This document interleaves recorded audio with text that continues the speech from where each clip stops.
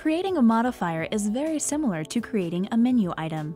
To create a new modifier, select the Admin button from the main screen. Enter your password when prompted.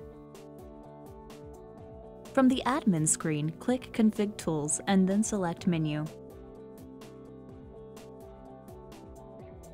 Choose Menu Editing and then select New Menu Item.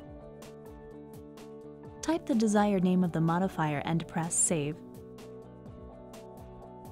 Select Modifiers as the group. If needed, you can also set a subcategory and menu function. Standard cost refers to the cost of the item to you from the vendor and can be entered if you would like to track this information. If the modifier adds to the price of the menu item that it is modifying, type the appropriate cost into the Price Level 1 field.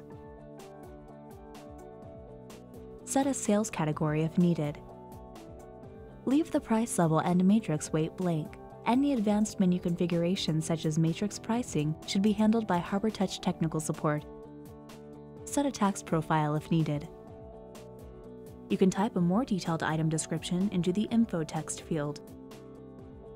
Make sure the autosave option is checked and then press close to save the modifier.